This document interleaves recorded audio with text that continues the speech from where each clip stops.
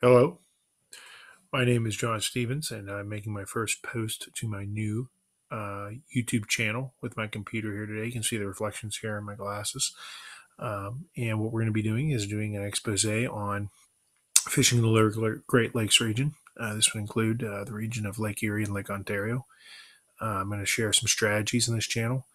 Uh, I'm also going to share footage of live fishing events uh, that would include rail trips you know, for walleye, for lake trout.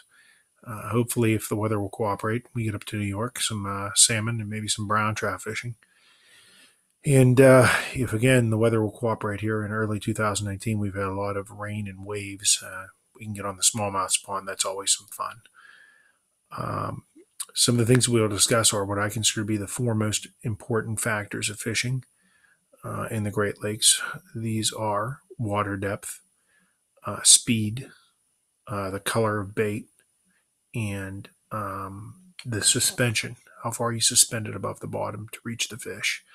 And these factors will change through the course of the year as we target various species of fish. Uh, also, uh, the different colors will change uh, in accordance to the type of bait that will be in different water um, conditions, different water depths.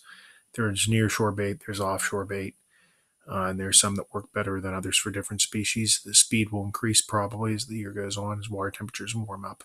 Sometimes, especially for walleye, this seems to be the strategy to speed it up a little bit to get them to uh, start to take off. But again, all of these would factors will be uh, discussed, and I just want to put an initial post to see if this actually does post and if this actually is viewable on the internet and is working. So this is the first uh, step, and uh, we'll see how it goes from there.